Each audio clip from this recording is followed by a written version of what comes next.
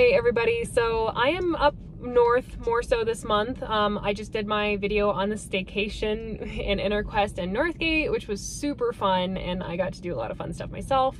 Um, but I thought I would also throw in another video about the Western Museum of Mining and Industry, um, which is up here in Northgate, Colorado. It's right outside the Northgate of the Air Force Academy. Um, it's a super cool spot. It's super cute, super fun. Um, it is indoor and outdoor, so depending on the weather, if the weather is not great, you might not be able to do so much of the outdoor section of it and walking around and seeing a lot of the equipment.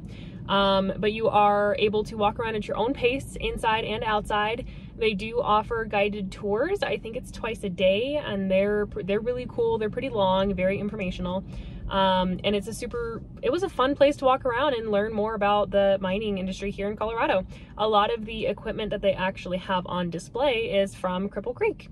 So maybe you can come here and check out some of the equipment and later at some point drive over to Cripple Creek, which is not too far away.